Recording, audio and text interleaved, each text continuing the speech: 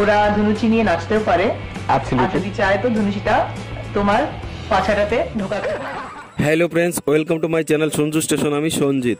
তো কি হাল সবার? ফ্রেন্ডস জিৎ তার প্রতিটি সিনেমায় একটি করে তাবড় তাবড় ডায়লগ দেন এবং সেই ডায়লগগুলো সিনেমার থেকেও বেশি হিট করে এবং তার ডায়লগ প্রতিটা ভক্তের মুখে শোনা যায়। আজকে দেখে নেব এমনই একটি ডায়লগ সাউথ ইন্ডিয়ান হিরোইন শ্রদ্ধা দাস, জিতের ডায়লগ দিয়ে ভাইরাল হয়েছে। তো ভাইরাল সেই ভিডিও আপনাদের সামনে তুলে ধরবো।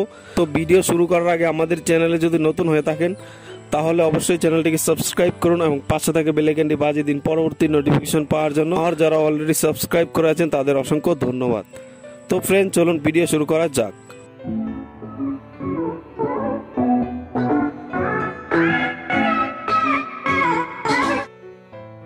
ফ্রেন্ডস আমরা এর আগে দেখেছি জিতের সিনেমার ডায়লগ অনেক ভক্তরাও দেন, আবার পাশাপাশি অনেক স্টার বা সিরিয়াল খ্যাত হিরো হিরোইনরাও দেন। এবার, জিতের মুখের সংলাপ দিয়ে ভাইরাল হলো শ্রদ্ধা দাস। তার আগে শ্রদ্ধা দাসকে চিনিয়ে দেই, তিনি হলেন জন্মগত বাঙালি। কিন্তু তার বাংলা ভাষা সেরকম স্পষ্ট আসে না। তিনি তার কেরিয়ারে পঞ্চাশটিরও বেশি সাউথ ইন্ডিয়ান ছবিতে কাজ করেছেন।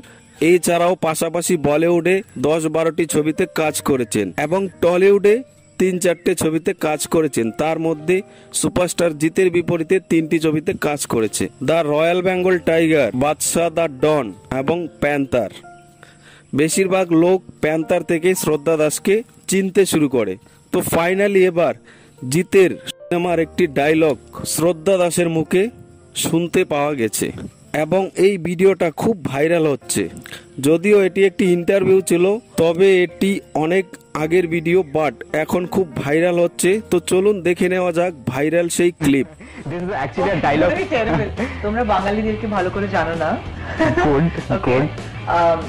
ওরা ধনুচি নিয়ে নাচতেও পারে। যদি চায় তো ধনুচিটা তোমার পাছাটাতে ঢোকাতে তো ফ্রেন্ডস ভিডিওটা ভালো লাগলে লাইক করুন শেয়ার করুন, আর জিতের ভক্ত হয়ে থাকলে অবশ্যই চ্যানেলটিকে সাবস্ক্রাইব করুন। তো আজকের জন্য চললাম, ভালো থাকবেন সবাই, ধন্যবাদ।